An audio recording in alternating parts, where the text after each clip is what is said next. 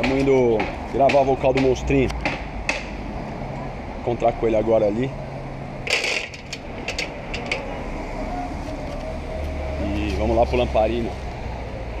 Gravar essa bagaça aí, instinto ruim, hein?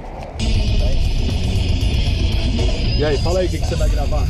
Pô, mano, hoje vamos gravar o nosso próximo single aí, que é o Vencedores. E, pô, tamo na pilha aí. Tô, tô bem ansioso pra gravar esse som aí, que ele é. Ele é um som um pouco mais positivo, assim, fala um pouquinho mais de superação, de. De cada um, assim, ainda mais eu que convivo bastante com lutador, assim, ela, ela é bem, bem influenciada por luta, assim, de porrada mesmo, de MMA. E de você cair pra dentro e não desistir jamais, assim. Todo mundo passa por isso. É meio que isso aí, cara. Chama vencedores, vencedores. E vamos tomar que todo mundo curta aí, certo? É nóis.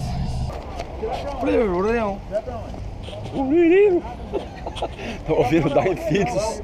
Só tem arpejo nessa porra. Estamos chegando Lamparina aqui. Estúdio Lamparina, São Paulo.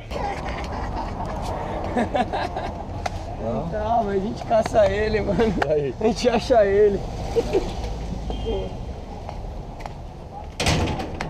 A gente acha ele, filho. O Zé tá aí, botou umas câmeras a mais hoje. O Zema tá aí? Tá. Certo. Tem um fonão galã, você trouxe um fonão galã. Se for num galã, tu- vamos que tomar diferente um pouco. Me disseram! Cuspi na cara deles e gritei, eu nunca vou desistir! Então, no- novidade pra mim nesse, nessa gravação do, do Instinto Ruim, que mais me impressionou assim da, da diferença dos outros álbuns, que eu, eu tenho certeza que vai sair muito melhor, foi esse negócio da gente duplicar, triplicar né, as vozes. Deslealdade! Eu não pedi pra nascer nesse mundo! Outros discos a gente vinha, matava três músicas por dia. Então, sei lá, eu vinha na febre de gravar, gravava três músicas porque a gente fazia um, um, um take de cada frase, um take da outra frase dobrando e acabou a música. Nesse disco a gente tá fazendo o diferencial que é faz o take, dobra, faz o take, dobra, a gente tá gravando três vezes cada frase. Eles sabem que por isso eu mato e morro! Que eu não ia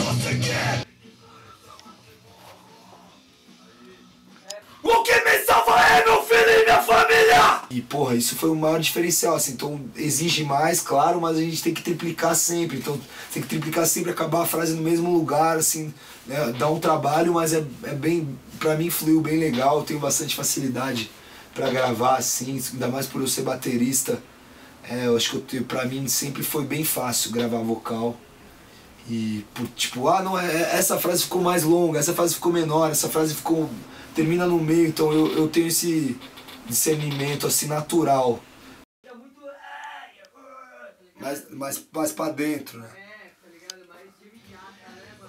No final da música, não tem? Ah, beleza. Então lá. no refrão.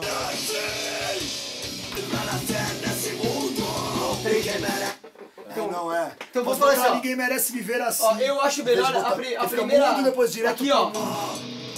A, a gente pode mudar isso aqui. A primeira frase de todas, a gente pode. Ninguém merece viver assim. É. A primeira.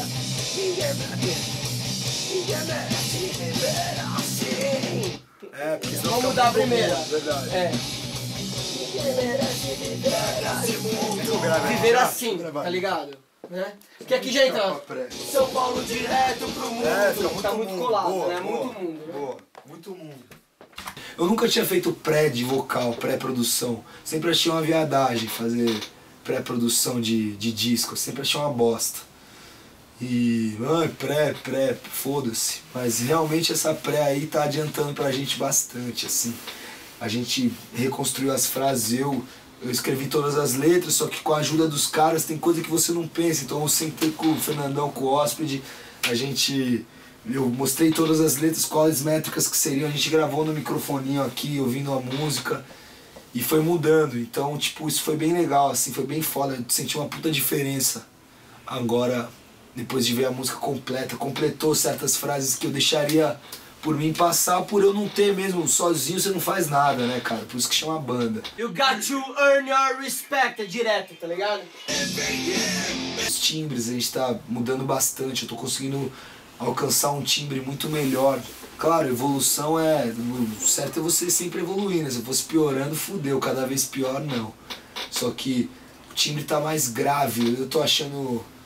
Puta, mais sério assim o timbre e. E antes eu fazia um.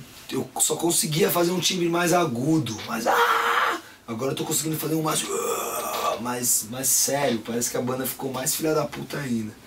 Vai me fazer cair Vamos direto pro mundo Revirando sentimentos mais profundos Vai me fazer cair Vai me fazer cair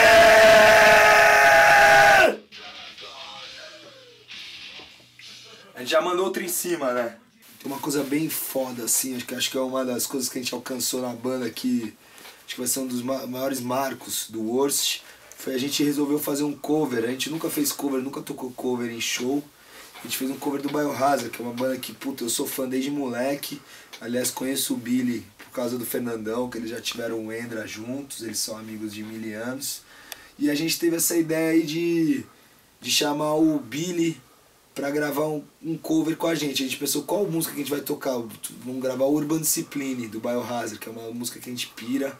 Acho que o Urban Discipline é o álbum, o melhor álbum deles, né? Certeza. E mais antológico, assim. A gente, na hora de procurar um cover, a gente procurou uma coisa que fosse desse tamanho, assim, uma coisa que todo mundo gostasse, que fosse um marco, assim.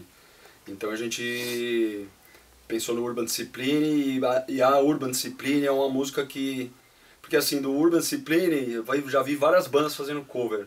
Shades of Grey, Punishment e... Mas a Urban Discipline em si, A Urban não. Discipline em si eu nunca tinha visto, É. ou visto. E era a minha música favorita de quando eu ouvia lá em 90 e bola, lá, quando os caras lançaram o disco. Ah, vou gravar uma mais guitarra. Como é que é? Me fala já isso aí. Canta isso aí. Aqui não. Ah, Come.